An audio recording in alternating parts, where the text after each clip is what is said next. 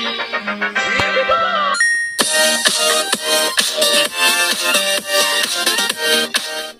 guys, welcome back to the channel. This is Dan TV and I'm going to show you a little small video of how to turn your sheep into rainbow, like to make it multicolored and change colour, and how to make a sheep upside down. The multicolored one works for only sheep and the upside down one works for um, everything, even, even the wither and creepers.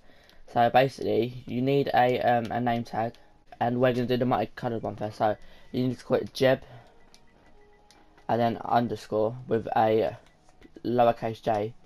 Oh, like that, and then you do that, and then for the um the upside down one, you you, you need to put Dinnerbone with a capital D. So dinner uh, bone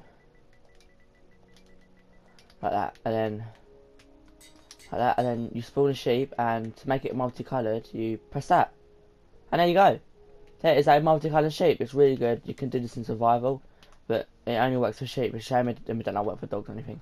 Then, if you want to make it upside down, you get the Dinnerbone, and then there you go. It's upside down. There are the two things. So if, if I just put this in my inventory and then show you another way, like that, that's it. It looks really good. Um, and right, let me get the Dinnerbone one. So look, it even works for slime. So look, there you go. It is an ups. Quick, come back. Upside down slime and upside down cows.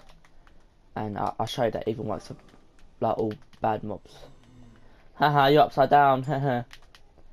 oh, what you mean now. Where's the where is that multicolored sheep gone?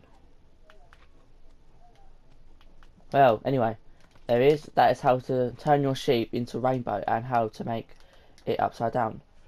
So yeah, remember to like, comment and subscribe and I'll see you in my next episode. Bye.